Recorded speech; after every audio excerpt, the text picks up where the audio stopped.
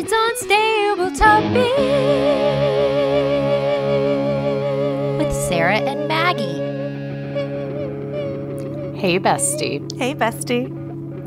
I don't know if this is a stable or unstable opinion that I have, uh, so I'm curious your take on it. But I believe that when serving watermelon to children, it is preferred to serve with the rind on. I don't think that's an unstable opinion. I I get the mythology of it because you don't have to have like a napkin or a fork. You can just hold the rind, right? It's Mhm. it's it's thus the peel of the banana. The rind is the the watermelon. Correct. Yes. It's a, it's its built-in holder. mm-hmm. No, I Mhm. don't. I I agree with that. When I cut Walter what when I cut watermelon for, For Walter. well, Walter doesn't like watermelon anymore. I know. I know. He there's a picture. Hold, hold for. Mom, I'm going to play golf. I found these things, and I did not find my golf ball. Your golf clubs are by the front door. The door, but I didn't find it. Okay, we'll look by the front door, okay? In between the front door and the living room. Okay, I'm Okay, shut the door. I'm five. Okay, thank you.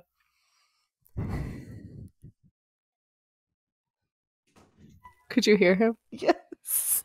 Did you hear him say, "All right, I'm I am 5." I'm five. I'm almost five. I think you just turned four, dude.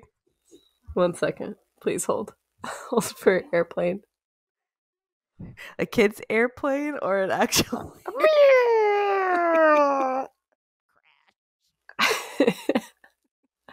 came in. Did you see what he came in with? No, I couldn't see him. I just heard him. Oh, so Arthur just ran into the room with a golf ball and a tee. And he goes, Mom, I got my golf ball and, and this thing, but I don't have my golf clubs. I cannot find my golf clubs. oh, Ugh, children. Children. Okay.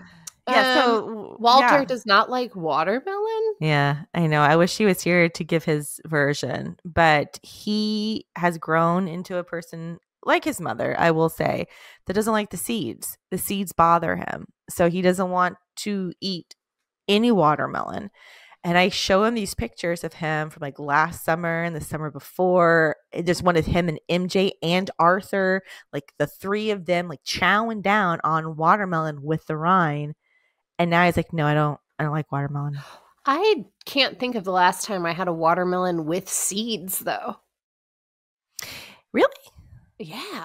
And I'm not like purposefully seeking out seedless watermelon, but Huh. when I am at the store, I don't know. Every time I grab a watermelon, it's like, it's seedless. Well, hey, next time you grab them, grab two I will. because you must have the magic touch. Because whenever we get them, they have like even the white seeds, you know, the white little seeds that are in there. Oh, yeah. I guess, I mean, there'll be like a couple of those, but those, like, you don't even have to spit out. Well, Walter don't even taste notices them before he takes a bite. He examines the watermelon. Mm-hmm. and if he seeds the seeds, like, no, I don't want that. I don't like watermelon anymore. I'm like, you why? You know, in this case, I will make an exception and say it might be better to do just chunks then. Because then know- you get the you get the seeds out and you just use a fork. He's old enough to use a fork, you know? Yeah, he is old enough to use a fork. Whether or not he chooses to use a fork, That's it. it's another debate. Yeah. But no, I don't think that it's No. a controversial opinion to say that when you cut watermelon for children, it is preferred to cut it with the rind on. It's so much so much less messy. I just was thinking about it the other like the other day I was serving watermelon and I was like, this is great. I can't even imagine serving it to them because they will use their hands no matter what. Mm-hmm. Anyways, you know, it's just like one of those things. You're going to be cleaning them up no matter what. Mhm. And so, um, which I don't know, speaking of cleaning, are you ready for your fact? I love how you segue. Yes, I am ready for my fact. People often think of cats spending their days napping, but they also spend 15 to 20% of their time grooming themselves. Classic cat, you know? It's a classic cat. Jamie, there's this. Was there more to that fact? No, that's it. Okay, I didn't know if I interrupted because I was so excited. I'm like, yeah, that makes sense. Um, there's this, mo- like this cat impression that's it's not an impression. Uh, let me be clear. It is like the, the dumbest thing in the world. but I did it one time for my husband ages ago, ages ago, and he was like, "Sarah, do do the cat thing," like, and it doesn't have any sound. So if you're listening to this, you won't be able to hear it. But it's just, it's literally we move microphone.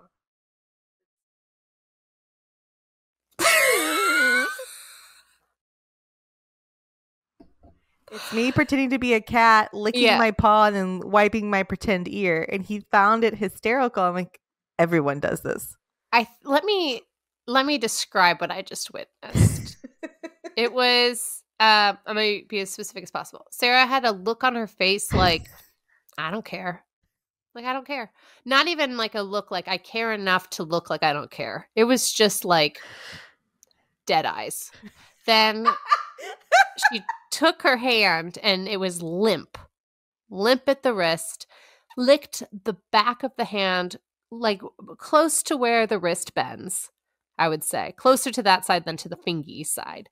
And then over her eye, wiped away as if wiping bangs out of her face. And that was it. That was it. And I will say, I hope that by describing what I just saw, people can visualize that or head to our YouTube and watch it. But I think that I did a pretty good job, and people are probably laughing hysterically, much like your husband did when you did this cat impression. I didn't know you had such talent. Honestly, I knew you were a talented actor. I knew you were a woman of many talents, but I, I- did not know you could do a cat impression. I like that. I prefaced it by saying it is nothing. It is absolutely nothing. You downplayed it. You but- downplayed it. Stop it. That was can't stop it. incredible. I, I don't even. Are you a cat? I don't know. sh- You know, if I could have sing, if I could sing, they would have had me on Broadway for cats, hundred percent. You wouldn't even. They wouldn't even put you in costume. No. You would just walk out there as a cat. yourself, do your miming, and you don't even have to walk on all fours. You would literally just walk out in like jeans. Yeah. Do that cat ear clean, and people would be like, well, uh, "Get Peta. There's a cat on the stage." Mhm. And I'm like, no, You no, know? no, it's just me. I'm a method actor. I Yeah. embody the um, subject I'm representing in my Yeah. performance. You know, This wasn't my react question, but I am going to pivot in the moment because we are improvisers at our core.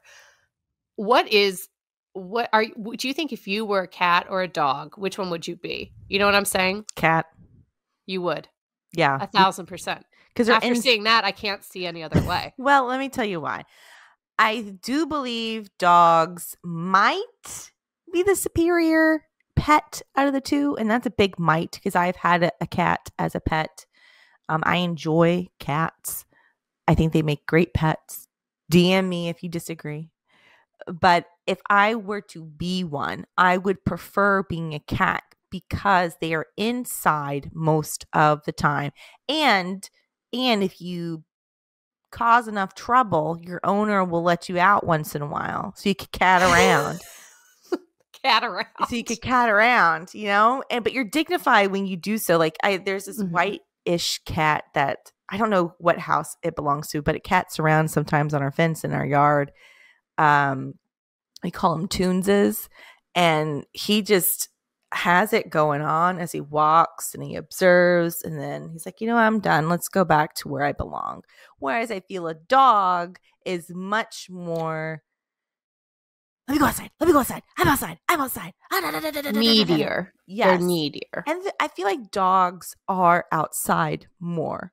Again, a lot of my decisions are based on how dirty am I going to get. you would spend 15 to 20% of yourself, of your time cleaning yourself for sure. That's see, and I don't like that bit. Dogs are just like, this is me.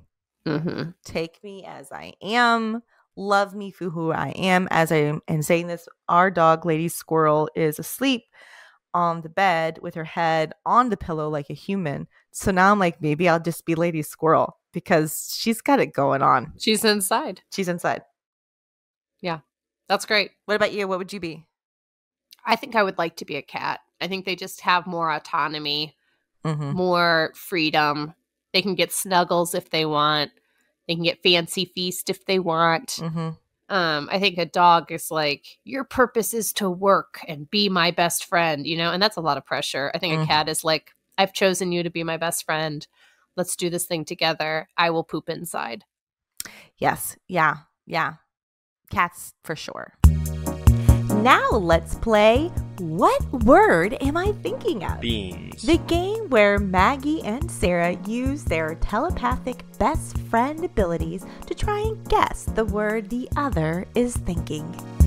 All right, Maggie, um, we are here again um, uh, to see if our best friend can transcend through the Wi Fi and see if you can accurately guess the word that I'm thinking of. Hold on, let me. I'm going to look at the word uh, for three seconds, and I want you then to see if you can say the word that I'm I'm thinking of. Three, two, one. Leaf. No, it is not leaf, and my heart sank a little bit because I thought for sure this, Oh. this is what was going to happen. We we got it. Oh, is it fork? Yes, it is fork.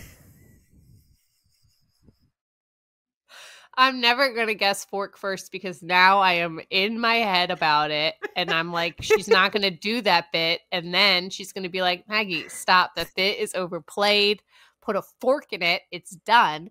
And so I'm never guessing fork first. I'm never doing it. Eh. Never. never. Don't ever, don't ever expect me to guess fork. Don't ever expect it. It's not going to happen. I'm not making fork happen. Stop it with four. All right. Sarah, are you ready for a fact? Born ready.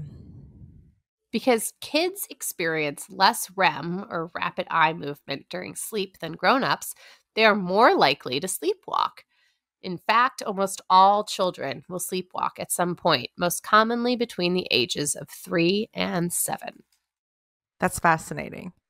That's really interesting. I'm wondering now when you say that, when Walter gets up, I'm like, is he sleepwalking or is he really awake when he comes into the our bedroom and says, I'm hungry. I need a snack. Yeah. Do you respond to it as if he really does need a snack? Uh-huh. Does We he do. eat? Uh sometimes if we actually go get him one. Because usually if this happens, if he says I'm hungry and a snack, we'll be like, okay, bud, let's get you back into bed and we'll get you a snack.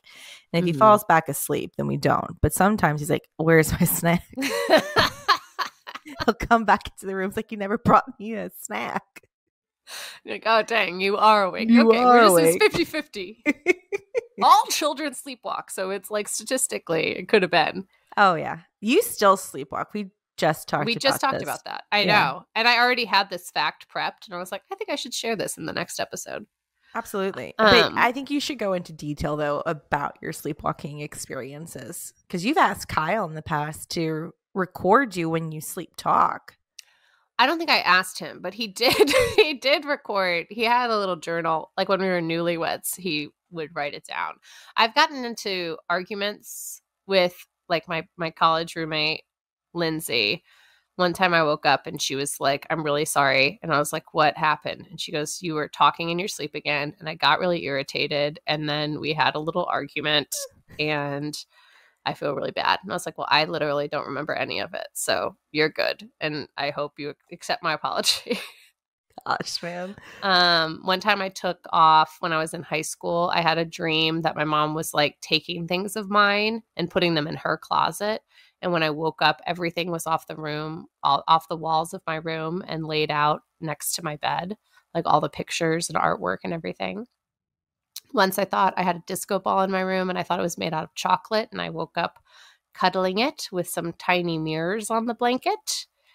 Um, Did you eat? Do you think you ate? no, I don't think I ate it. I don't think I ate it. Um, with Kyle, once I uh, lifted up his shirt and told him that he had evil blueberries on his belly. Um, Oh, so- great. yeah, when I first learned how to snap when I was like seven, so within the age your age range, this is a age range one, um, an appropriate time to sleepwalk. I had just learned how to snap, and my mom said I was just wandering the hallways snapping. That would And freak was like- me out. Hey, what are you doing? And I was like, just snapping. Just snapping. That would terrify me. That would terrify me. There have been times where we've walked by Walter's room um, before we go to bed, and he's been asleep, and he's like standing up in the room, and it freaks me out. I'm like, "What are you doing?" Like just standing, yeah. and it's terrifying. I love so three I have three kids and at any given point it's almost like they're in sync because they go to sleep around the same time. Mhm. So it'll be like 11 o'clock at night and one of them will start talking in their sleep and then another one will start talking and then you can hear the third one talk and so it's just this symphony of tiny children having conversations with nobody it's like no i said not to do that and then it's like that's my pencil and then it's bubbles they're always arguing with someone yeah, yeah, that Mhm. makes sense. That tracks. Yeah. Um, well, are you ready to react? I am ready to react. Okay, so kids are more likely to sleepwalk than grown-ups. If you could control what your kids did when they sleptwalked, sleepwalked, sleepy walked, walked in their sleep. Sleepy walk. Yeah, when they sleepy walk, what would you want them to do? That's a that's a loaded question, and here's why. Because like as a a good mother would say, I would want them to get back into bed and fall back asleep so they can rest. That's what I think you're supposed to say to this question. Like Well, I don't know. I, But- I but like me, if Walter was safe, like let's assume like he's safe when he's doing Yeah. this and he is sleepwalking and he's going to be sleepwalking safely and wake up still rested. Yeah. What would I want him to do? I would say um probably like clean out the fridge. Like do something that no one wants to do. And it doesn't take a lot of time. Like just move everything out, wipe down the shelves, put every back, and then he can go about. That would be a good sleepwalk activity too, because if he's looking for snacks, like if Mm. he's hungry, then he can like also enjoy some snacks. It's like a reward for working hard. Clean, wipe, eat, clean, wipe, eat, put back, go to Mhm. sleep. Yeah. And I think to, that's a great mother. It's knowing your child. Honestly, you. that was and to be that was fair, a fantastic answer. and to be fair, Walter loves to clean. He loves to he loves to clean. He will clean and ask to clean because he likes to spray bottle and he likes doing that and he likes accomplishing tasks and helping Yeah. out. So I don't think this is too far fetched. I do think with him sleepwalking though, it alleviates like the distractions. Like he's focused on this, and once he's done, he'll go back to bed. yeah, What Yeah, about you? I think I think that was I think that was a great answer. I just want to give you props and say Oh, you are a thank good mother for Thank you. for that. Um, I was thinking along the same lines of like, oh, they they go and any toy that they have put in a spot that they think is the new spot that it belongs in, but it's not the spot that I necessarily think it belongs in. Mhm. Um, they would go and they would put everything back where I I would like it to go. Like if I could control it, I'd be like, you know, like just the other day, it was like I have bins that are labeled and they Mhm. have drawings of what goes in those bins. And one of my kids' favorite games is uh, to put things that don't belong, like to empty out an entire bin and put everything, like all of the action figures, in the car bin, and and then put all of the cars in the action figure bin. And it's genuinely like their favorite game. Take all the books off the bookshelf put all the books under the bed and i'm like all of these things are not um not how i had intended you know Yeah. No, and, and to be fair, it's not like how you intended, it's just how it's intended. Like there's no it's Right. not a personal preference. It's just how it's done. For example, the other day I was helping Walter find something in his room and I go, Is it under the bed? He goes, No, it's not. And I go, Well, have you looked? He goes, Yeah, the only thing under there are my dirty clothes. And I said, Why are dirty clothes underneath the bed? He goes, Because it was faster than to Oh. put them in the laundry hamper. And Yeah. I'm like, but where do clo- dirty clothes go? And he said, in the laundry hamper. Yeah. I'm like, I don't, where's the disconnect here? So maybe I'll change mine too. Maybe instead of cleaning the fridge, our children would merely sleepwalk and put things where they're supposed to go. Yeah, yeah, yeah. I think I have over dialed on like everyone can be who they want to be, everyone can do what they want to do because now my kids are like, this action figure is going to be in the toy bin. And then I'll be like, wait, let's put him back in his home where with his family. And then they're like, no, we're putting his whole family in the car bin. And I'm like, no, no, but there's a bin. F- And then it's just, you know, then it gets too complicated. And so now our action figures are in our carbon. It's chaos. But you know it's not chaos? Sleepwalking to correct to correct it. Thank you so much for joining us. If you enjoyed this episode, we would love a review, subscribe, or for you to share this with a friend you think would like it. Or all three of those things. You can do all three and make our day and help us grow.